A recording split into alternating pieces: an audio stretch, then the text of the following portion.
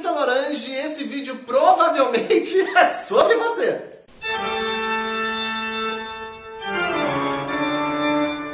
Bom, eu queria dar continuidade à discussão sobre então monogamia. E aí eu vi que só dois vídeos não ia dar conta de tudo que a gente tem para discutir e debater. A gente quem? Não sei. Eu e vocês, poucos gatos pingados que assistem esse canal, mas vamos aí ter esse momento de troca. O título do vídeo de hoje é uma frase que a gente escuta sempre que fala para alguém que está numa relação uma monogâmica, aberta, um poliamor, que é o quê? Ai, mas eu não conseguiria. E normalmente ninguém perguntou nada para a pessoa, a gente só está informando uma coisa da nossa vida. Só que hoje eu estou aqui para dar atenção para você que tem essa urgência de dizer: ai, mas eu não conseguiria que é te explicar por que, que você não conseguiria. Então, vou te dar a oportunidade de entender essa coisa que você fala sem pensar muito bem que é não conseguiria nunca ter um relacionamento aberto, um poliamor e etc. Vem comigo. Tem três coisas importantes para a gente falar: posse, exclusividade e desejo. São três pontos para a gente partir.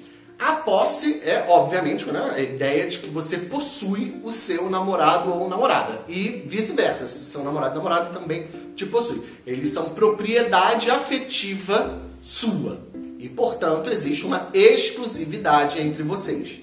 Só você pode ser o namorado de Joãozinho e só Joãozinho pode ser seu namorado. É uma relação onde você coloca esta pessoa num outro patamar em relação a todas as outras suas relações. Relacionou? O que significa dizer que duas pessoas que estão em uma relação monogâmica pertencem uma a outra e colocam esta outra pessoa num espaço específico, exclusivo para ela.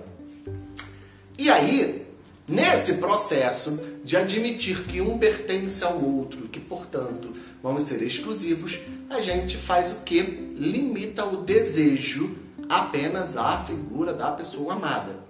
O que é uma grande hipocrisia, porque afinal de contas a gente continua sentindo desejos múltiplos, gostando de outras pessoas, querendo fazer sexo com outras pessoas, se apaixonando por outras pessoas, porque senão a gente não tinha o quê? Traição, bigamia, trocar um namorado por outro, enfim, enquanto namora, essas coisas todas que acontecem. Então a primeira coisa que você acha difícil de entender no conceito de não monogamia é como é que funciona essa questão de posse, de exclusividade, que portanto não existe, e como é que essa pessoa consegue lidar com os desejos do parceiro. Porque no final das contas é sobre o seu parceiro, é sobre como você não é exclusivo para seu parceiro, é como você não tem o único objeto de desejo do seu parceiro, é como você não é do seu parceiro, né? Você é alguém que está ali naquela relação. E aí você, pessoa que não conseguiria, tem esta dificuldade de não ser exclusiva e não estar na hierarquia máxima do afeto, principalmente sexual, do seu parceiro, que afinal de contas ele pode ter outros parceiros. E ele pode inclusive gostar de transar mais com outros parceiros. E você não vai conseguir sobreviver a isso, porque meu Deus do céu, como é que eu tô namorando um cara que na verdade gosta de transar mais com outro cara que comigo, embora a gente também transe, e você fica encasquetado, e você fica louca, e você bate com a cabeça na parede, porque é difícil, realmente é muito difícil, porque a gente é criado para ser esse objeto de desejo único do namorado, e é muito complicado, e calma. Calma, porque todos esses males têm uma única raiz, que faz com que você não consiga. O abandono. Nós temos pavor de abandono, porque, como eu falei no último vídeo, nossos afetos são orientados para a monogamia, que trabalha com a ideia de felizes para sempre e também trabalha com a ideia de sucesso na vida. Você tem sucesso na vida a partir do momento que você está namorando. As pessoas cobram isso de adultos funcionais, né? Que eles estejam num relacionamento de preferência reprodutivo, de preferência monogâmico, de preferência muito sério, firme e para sempre, dividindo bens e essas coisas todas. E aí vocêzinha, vocêzinho tem essa enorme dificuldade de o que? De ser abandonado, porque você não está acostumado nem a dividir brinquedo. Quanto mais dividir o brinquedo sexual do, da genitália do seu amorzinho. Nós somos criados numa sociedade de posse, né? Essa ideia capitalista, ela atravessa os nossos sentimentos, a gente trabalha com posse, minha mãe, meus amigos, né, meu namorado, então é complicado dividir isso. E também cresce com essa cobrança de que tem que dar certo e que ser abandonado por alguém que você ama é a pior coisa do mundo. E não é bom, não estou aqui dizendo que você vai tomar um pé na bunda e vai levantar belíssima. Eu fico péssima, demoro quatro anos para superar um namoro, por isso que eu não namoro. Agora, para entender como essa questão do abandono se relaciona com os nossos afetos, vamos pensar no seguinte: vamos esquecer o medo do abandono, né? E o medo de abandonar também, que a gente também tem muito medo de abandonar. As pessoas têm medo de abrir relações também por não querer decepcionar, correr o risco de se apaixonar por outra pessoa e abandonar aquele seu amorzinho. Isso porque eu não estou falando de traição aqui, tá? Estou falando de você que acredita na fidelidade. Não vou nem entrar na questão da traição por enquanto. Estou falando aqui de pessoas que realmente se amam, se querem bem, que é sobre saúde afetiva que estamos conversando. Eu vou te dar um contraponto ao medo do abandono, que é uma alegria, tá? Porque a gente tem um medo, então para ter esse contraponto ao medo seria legal ter o quê? Uma alegria. E esta alegria é você estar feliz com a felicidade do outro também. Entenda que eu não estou dizendo para você ser serviçal ao seu amorzinho. Não, não, não, não. É você aprender a ser feliz de uma forma diferente, de uma forma que não seja baseada no medo do abandono e na posse. Vamos substituir isso pela ideia concreta de que você está feliz com a pessoa com quem você está se relacionando. E vice-versa, né? Porque também é relação abusiva. Você está feliz com essa pessoa. Vocês se fazem bem. Vocês estão contentes, vocês se amam. E aí esta pessoa está fazendo sexo, está se relacionando com alguém que não é você. E isso faz bem para essa pessoa. Veja bem, veja só. Seu amorzinho está feliz. Não é com você naquele momento, mas ele está feliz. E a gente não admite muito bem não ser esse objeto de felicidade, de desejo de amor do nosso amorzinho. Você não consegue e você não conseguiria porque é muito difícil admitir que as pessoas podem ser felizes sem você. E que isso não significa de forma alguma, que você também não faça o seu amorzinho feliz. Porque você faz, tanto porque, né, senão seu amorzinho não estaria com você. E se o seu amorzinho não te faz feliz também, termine com ele, porque ninguém merece estar numa relação para ficar triste, né? Tô eu aqui fui triste em várias relações, posso dizer isso o quê? Com local de fala. E você não consegue porque todas as relações não monogâmicas passam por uma obrigatoriedade de um negócio muito complicado que é conversar. Ou pelo menos assim deveriam. Você precisa conversar sobre como vai se construir essa relação.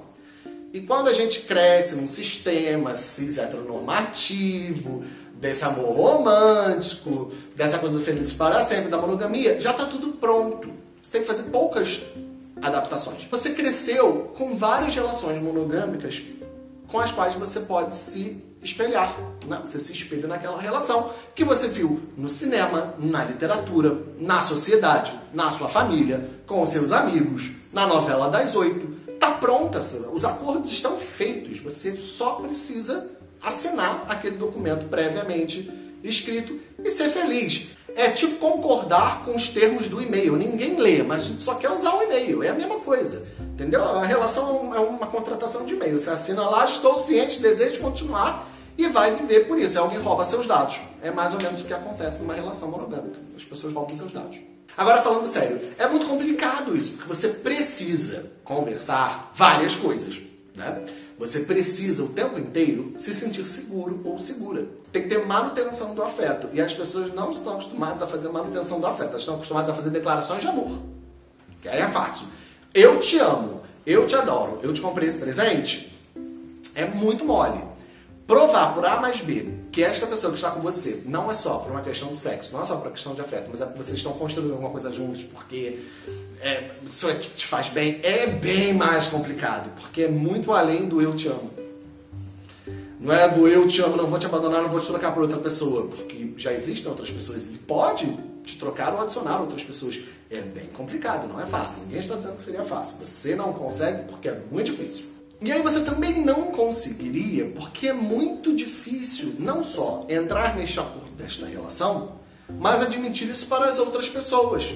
Porque entenda, toda vez que você for apresentar um ou dois namorados, ou alguém vir seu namorado beijando outra pessoa numa festa, você vai ter que explicar a sua relação. E isso enche a porra do saco. Inclusive porque a gente tem que escutar o quê? Mas nossa, vocês têm uma relação aberta? Eu não conseguiria! Né? Quando a gente fala que a monogamia é uma instituição bem maligna, opressora, a gente está dizendo que eu posso ser preso se eu assinar um documento de casamento com duas pessoas. Porque o Estado ele tem poder sobre os meus bens. Vai dar uma trabalheira se eu tiver que dividir meus bens com dois maridos ou duas esposas, ou um marido, uma esposa, enfim. Então, meu amor, você não pode casar com duas pessoas. É tudo muito difícil. E aí, pra que, que você vai enfrentar isso se você pode o quê? Pegar o termo do do Gmail e se relacionar com o que está escrito ali, concordando e continuando. E você também não consegue porque tem um processo muito difícil aqui, que é admitir as nossas hipocrisias. Que é difícil para tudo, né? Que tá aí a autocrítica do PT que não me deixa mentir. A gente vai ter o quê? Que admitir que uma relação monogâmica é bem hipócrita. Porque você tem que admitir que tem desejo por outras pessoas, porque você tem que admitir que o seu parceiro tem desejo por outras pessoas, porque você tem que admitir que aquilo não foi feito para dar certo para sempre, que as coisas podem acabar. Você vai ter que admitir um monte de coisa que todo mundo meio que sabe, mas ninguém vai falar, né? Porque é muito difícil ficar enfrentando esses tipos de verdade que a gente tem. E assim como toda desconstrução, nos dá um soco na cara. E aí você pode me perguntar, mas Melissa, oh Melissa, eu entendo tudo isso que você está dizendo, mas para mim é muito difícil ver meu namorado beijando outra pessoa, eu tenho que aceitar isso. Se você está me perguntando isso, você não entendeu muito bem o que eu estou dizendo. Porque o seu namorado beijar outras pessoas é a menor das preocupações de uma relação não monogâmica. Porque entenda, quando você chegar no nível de debate, de desconstrução, de admitir suas hipocrisias, de falar, olha, realmente a chavezinha é muito gostosa, se ela me desse mole eu ia pegar ela mesmo, porque não tem como controlar, mas isso não quer dizer que eu não te ame né, essa coisa toda, quando você chega nesse ponto, a realização do caso em si, do, do cara, é a menor das suas preocupações. Então, outra questão importante, que é um estigma de quem tem relação aberta, ama menos o namorado porque deixa ele solto, sei lá. Eu não vou ficar usando termômetro de amor aqui, porque, né, não sei se tem um amormômetro pra gente ficar medindo. Mas eu nunca amei menos alguém ou mais porque relação aberta e não vejo os meus amigos com relações abertas amando menos seus casais ou seus mais namorados por causa disso. Talvez você fique com essa ideia de que a pessoa ama menos porque está diretamente relacionando amor ao controle, né? Porque não deixa de ser um controle sobre o outro. E, como eu já falei em alguns vídeos aqui, e não sou só eu que falo, é um careca chamado Foucault, essa coisa de controlar os desejos do outro é uma das maiores ferramentas de controle da vida dele. Porque se ele não faz alguma coisa que você não está olhando no íntimo, ali no cantinho, porque ele tem medo ou vergonha de ferir esse contrato, é porque tá foda. Né? E, e pense bem, não é só você, é você e toda a outra sociedade, a religião, enfim, o mundo, que pressiona essa pessoa a não fazer isso. Ou se fazer, fazer escondido. Você não pode descobrir. Então, meus amores, resumindo, você não conseguiria porque para você é difícil admitir que o mundo afetivo do seu amorzinho não gira em torno unicamente de você. Porque você não consegue admitir que você tem um puta medo de ser abandonada ou abandonado e que para isso você tem que entrar em um monte de questões complicadíssimas que é muito mais fácil do que ficar com medo mesmo. Você não quer admitir todas as hipocrisias do seu desejo, porque afinal de contas não é para você esse tipo de coisa. Você tem medo da opinião das pessoas, não é mesmo? Do Estado, dos amigos, da igreja. Você não conseguiria basicamente porque você tem medo. E aí, meus amores, o que a gente faz com medo? A gente pega o medo pelo corpo, assim, pelo pescoço, a gente besunta o medo com KY e senta ali. Não, mentira. A gente supera o medo. Porque como deve ter dado para entender aqui, o que eu estou tentando explicar para você, é que você não conseguiria ter esse tipo de relação porque para você, com todos os medos que incluem a relação monogâmica tradicional, né, com todos os medos do debate, da igualdade de discurso, né, que é uma coisa complicada, ainda mais casal heterossexual, é um negócio difícil, com assumir um monte de responsabilidades que a gente não quer, porque a gente tem medo de responsabilidade pra caramba. Todos esses medos, eles servem para o quê? Deixar você ser um pouquinho mais infeliz na sua relação. O que eu quero com esse vídeo não é mandar você que tem uma relação monogâmica amanhã abrir a relação, né? Não. É que você pense nesses medos que eu acabei de dizer. Né? Porque eu acho que fazem bastante sentido para mim, talvez faça para vocês também. E faça uma balança aí se isso vale a pena ou não na manutenção do seu relacionamento que você tá ou futuro. E pelo amor de Deus, não fale mais que você não conseguiria alguma coisa que você nunca, jamais, em hipótese alguma, tentou e que faz parte da vida e da afetividade de outras pessoas, porque isso é bem desagradável. Era só isso que eu queria dizer. Eu vou sair por ali e nós nos vemos num próximo vídeo para dar continuidade a esse assunto. Porque se esse vídeo não foi sobre você, porque afinal de contas você é do poliamor, você não é uma pessoa monogâmica, o próximo vídeo é sobre você. Até lá!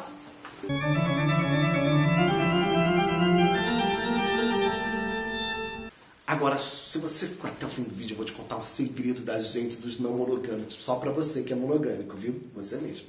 Tudo isso, esse vídeo inteiro, foi só para te convencer a abrir a sua relação e me incluir nela. Exatamente. Eu fiz tudo isso com o único intuito de pegar o alecrim dourado que nasceu no campo sem ser semeado do seu namorado. Exatamente, porque eu não tenho mais nada na minha vida para fazer a não ser morrer de inveja do seu relacionamento blindado, do seu casamento perfeito, a sua relação incrível, sem nenhuma hipocrisia, completamente transparente. Então eu, como uma pessoa invejosa, terrível e com tesão à flor da pele, uma coisa que dá um choque, tô aqui só para o quê? Comer você e chupar seu namorado.